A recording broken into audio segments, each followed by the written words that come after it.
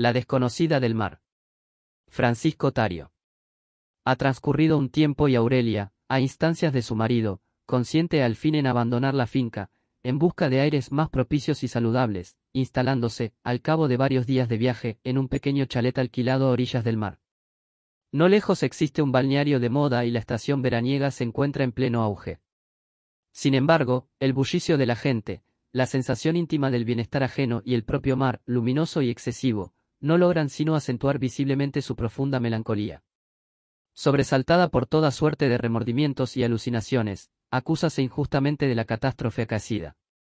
Más descubre allí, una mañana de tantas, en la playa, al hombre que con el tiempo tan importante significación habría de tener en su vida. El único que lograría, temporalmente, destruir en ella la fantasmal imagen del hijo muerto.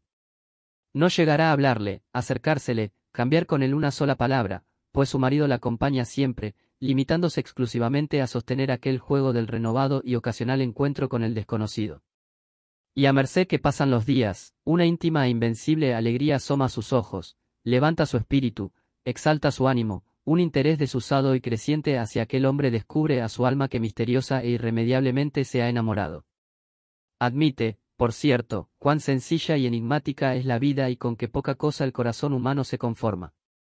Aurelia acepta tácitamente que podría haber continuado así siempre, siempre.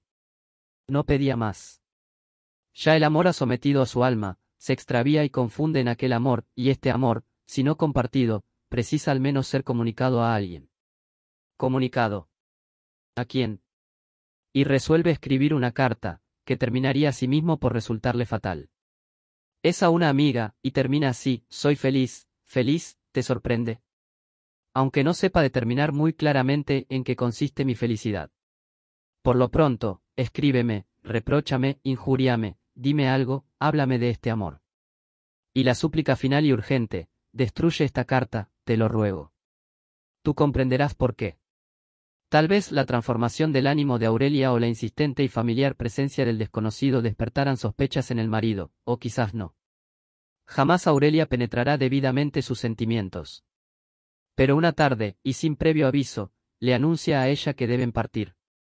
Ya termina la temporada, el tiempo es cada vez más desapacible y los veraneantes comienzan a emigrar. En cuanto al desconocido, trátase de un hombre medianamente joven, también casado, cuya mujer y dos hijos habitan en la ciudad. Para él, ciertamente, tampoco ha pasado inadvertida la presencia de la bella desconocida, por quien un interés particular e inesperado comienza a despertar en su alma. No se ha enamorado, no, más le divierte y atrae observar diariamente a la mujer, acecharla, seguir incluso los interrumpidos giros de sus conversaciones escuchadas al azar, construir y ordenar caprichosamente la ignorada y secreta vida de la misteriosa mujer. Le halaga y exalta tropezarse hoy con su mirada, descubrirla a lo lejos en la playa, caminar hacia él, desaparecer. Cada pormenor de aquella vida le ofrece una emoción distinta, un aspecto nuevo y atrayente, singular. Y en ocasiones, por las tardes, pasea ingenuamente frente a su chalet. Más he aquí que la mañana en que descubre de pronto que la desconocida se ha marchado, su vida se desploma repentina e incomprensiblemente. Está solo. Y aquel lugar tan luminoso y plácido, aquel mar tan ruidoso y azul, se transforma, en virtud de la súbita soledad, en el más lóbrego y aborrecible rincón, del que quisiera escapar a toda costa. Las tardes son ventosas y frías y las avenidas aparecen desiertas. El mundo, igualmente, es lóbrego y sombrío. Acepta, pues, inevitablemente que él también se ha enamorado. El tiempo adelanta y los últimos veraneantes están por partir. El mar es grueso y opresivo y nuestro hombre vaga taciturno y confuso. No posee el menor indicio de la mujer que se fue, no dispone de nadie a quien recurrir. Se fue, y esto es cuanto le alcanza. E inventa, como un trivial paliativo a su soledad presente, alquilar él mismo el pequeño chalet desocupado, el que ocupara ella. Así se sentirá más próximo a la mujer, penetrará ilusoriamente en su vida y su espíritu descansará más tranquilo en compañía de la invisible presencia. Y una tarde, del modo más inesperado, una carta dirigida a Aurelia le trae la más sorprendente noticia que pudiera imaginar en sus tormentosos días. Es la respuesta de la amiga ausente a la reciente carta de Aurelia. De suerte que ella lo amaba. De suerte que había sido amado por ella. Amaba, por consiguiente, a un fantasma y era amado a la recíproca por el fantasma desaparecido. No tiene ya que hacer, sino regresar cuanto antes. La carta le ha revelado, al menos, que la desconocida vive en la misma ciudad que él. Y regresa. Su hogar, sencillo y tranquilo, lo acoge ruidosamente. Mas él no pertenece ya más a ese mundo, su mundo se ha vuelto lejano y extraño, misterioso. Su hogar no le dice nada. Su anterior mundo desapareció para él. E inicia, como un vagabundo o un sonámbulo, la estúpida y colosal búsqueda de la mujer desaparecida a través de la inquietante ciudad. Y el ojo del espectador, infinitamente más penetrante que el de ellos mismos, seguirá paso a paso la extenuante marcha de este hombre en busca de lo que ha perdido. Y veremos, frecuentemente, cuán próximos durante ese tiempo estuvieron de encontrarse, ya en una esquina o una avenida, en un teatro al cual uno de ellos deja inexplicablemente de asistir, en una tienda donde un pequeño incidente retrasa o anticipa la salida de él o de ella. En fin, el espectador será testigo de ese juego de azar que nos impulsa o detiene, sin entender nunca ni remotamente por qué.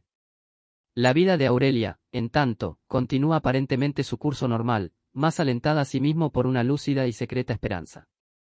También busca. También fracasa. Al fin, cierta tarde, sobreviene el encuentro del modo más imprevisto y propicio. Y no es el encuentro de dos personas extrañas y ajenas, sino de dos seres solitarios a quienes un grave y doloroso amor ha unido. No hay, pues, dudas en su encuentro, resistencias o titubeos. Se toman del brazo y continúan. Es el amor. Y al amor se entregan, a partir de aquella tarde, en una suerte de delirio efímero y sin sentido, que nadie mejor que ellos advierte cuán fugaz ha de ser. Es como si tomaran de cada minuto transcurrido la magnitud del breve tiempo de que consta, tratando desesperadamente de aplazarlo y continuarlo hasta la eternidad. Se suceden las entrevistas, las citas del amor doloroso e imposible, destinado a terminar. Ya conocen sus vidas y entreven su destino. Te amo, sí, le revela ella, y con eso basta. No espero nada. No me prometas nada. De nada serviría. Esta desbocada pasión origina en Aurelia una especie de presentimiento de no sabe qué males mayores que habrán de sobrevenir. Fue feliz una vez, cuando su hijo vivía, y no lo será más. La felicidad, advierte, acude una sola vez, pero jamás vuelve. Y su felicidad se ha perdido. Lo presiente. Mi vida está destruida, le confiesa una tarde, más destruida y todo te pertenece a ti. Sabe que por aquel amor mentirá, y miente. Que por aquel amor traicionará, y traiciona y se ve obligada a recurrir a las más sucias mentiras, a los más innobles recursos para prolongar aquel amor un día más, uno solo. Entiende muy claramente que, perdido este amor, su vida se derrumbará definitivamente por segunda y última vez. Mas el espectador nuevamente volverá a seguir ahora a estos tres infortunados destinos, sin que ellos se percaten. Podrá advertir, por ejemplo, como el esposo de Aurelia reconstruye hechos, establece pormenores y examina acontecimientos que le revelarán sin duda la existencia del amor prohibido. Y el espectador verá igualmente, ellos, nunca como, cuando los amantes se consideraban más a salvo, mayor era su riesgo y la inminente ruina que llamaba a su puerta. No obstante, en el hogar de Aurelia ni el más leve incidente parece turbar el curso ordinario de los días. En silencio, y consigo mismo, su marido contempla también con asombro el derrumbe de su propia vida. Ni un solo reproche, ni la más simple palabra acusadora pronunciará. Aún más, adviértese, o al menos esta impresión produce, que su amor por la joven esposa crece en el de día en día, nutriéndose de fuerzas oscuras y desconocidas. Y cuando el espectador confirme que fatalmente la traición de Aurelia ha sido puesta en claro, escuchará al marido decirle una noche, volveremos a la finca. Es preciso. Cabe preguntarse, entonces, maldad. Temor. Dolor ante la inminente pérdida. La finca. Jamás ha vuelto Aurelia a la finca, no quiere volver más. La había olvidado. Y esta visión repentina de la inmensa casa solitaria, del silencioso lago asesino, traen a su memoria las épocas más tormentosas de su vida. Se niega, a la finca, no, nunca. ¿Qué pretende él? Continúa el espectador preguntándose. Ponerla tal vez a salvo. Torturarla inicuamente quizá. Señalarle tácitamente el verdadero camino a seguir. Intentar de algún modo la dudosa recuperación. Transcurren los días. Es la última entrevista de los amantes. Tampoco ellos saben esto. Piensan que la separación es temporal, pero nunca más volverán a verse. Volverás y entonces, entonces qué? Pregunta ella. Y ella misma se responde, entonces, nada, ya lo sé. Sabe muy bien que no se pertenecerán nunca, que hermosas y trágicas vidas tiran de ellos en dos direcciones contrarias, los hijos vivos de él. El hijo muerto de ella. Imposible. Ya van Aurelia y su esposo de regreso a la finca. La actitud de él es hermética, impasible, por demás tranquila, como cuando la conoció y tomó. Como lo fue siempre. Ni una simple alusión, ni una réplica. Sin embargo, una línea de su rostro, solo una, a bordo del tren, basta para revelarle a ella la atroz verdad, su marido lo sabe todo, todo, y por eso la ha hecho regresar. El silencio de él, su inalterabilidad ante la verdad espantosa, la llenan de terror. Es un repentino y oscuro pánico el suyo que le anuncia que ha de morir. Lo entiende de sobra, a eso la llevan. Y ya una vez en la finca, por entre los viejos y melancólicos árboles, a lo largo de los espaciosos salones, donde quiera, percibe como la muerte la acecha implacablemente, pronta a precipitarse sobre ella. Cada ruido le anuncia algo, cada silencio le previene un riesgo, cada palabra es un símbolo fatal. Y él estará siempre presente, enigmático e inmutable. Siempre él allí, su marido, amenazador y austero. Piensa ella que no le será posible resistir un día más. Se resuelve al cabo, debe huir. Huir con aquel y le escribe. Huir, se pregunta, perpleja. ¿Pero huir de qué? ¿Hacia qué? No tiene significado su vida. Más es preciso escapar, evadirse a cualquier precio de la tortura infinita, de la monstruosa e interminable espera. Y le escribe, lo he decidido, sí. El viernes estaré contigo y seré tuya para siempre, espérame. Resueltamente, Aurelia no resistirá más. En las sombras, sigilosa y trémula, dispone y prepara la huida. Calcula, medita, comprueba, examina toda posibilidad.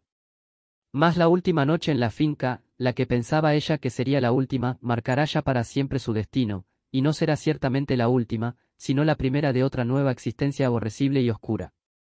Todo está a punto en la noche señalada, la casa en silencio, todos duermen. Y Aurelia baja lenta, quizá demasiado lentamente, pues los segundos cuentan, y sale al jardín. Allí se siente más libre y joven, en la perfumada noche. Avanza. El camino está expedito.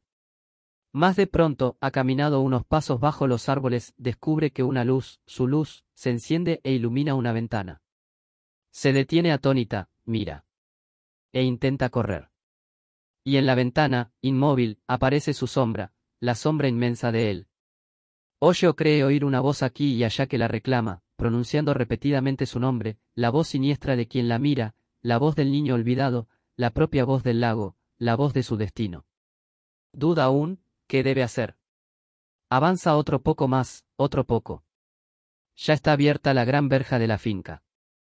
Un paso más y será libre. Solamente un paso es lo que necesita. Y la sombra en la ventana continúa inmóvil. Aurelia se resuelve a salir, va a hacerlo. Pero no lo hará, nunca, nunca.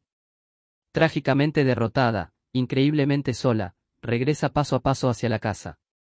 Todo ha terminado, es el fin. La muerte en vida que la reclama. La herencia definitiva de la soledad. La soledad de muerte que la atará tanto como dure su vida a la profundidad tenebrosa del asesino lago que no la dejó partir. Cuando penetra en la casa y cierra tras ella la puerta, una suave y alegre brisa nocturna agita las silenciosas aguas del lago, y en la ventana, misteriosamente, vuelve a apagarse la luz. Fin.